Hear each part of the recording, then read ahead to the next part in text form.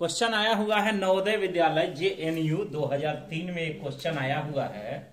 Zero one two three से बनने वाली सबसे छोटी सम संख्या बताना है। क्या बताना है? सम संख्या। ऑप्शन हमारे पास चार हैं, है कि नहीं?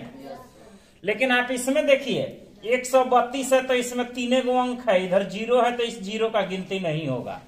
और चार अंक इसमें है, चार अंक इसमें है, चार अंक इसमें है। तो इसमें सबसे छोटा कौन है? तेरह है बारह है कि दस है? दस है। एक हज़ार बत्तीस। समझ में आ गया? चलिए उतार लीजिए आप इस क्वेश्चन को।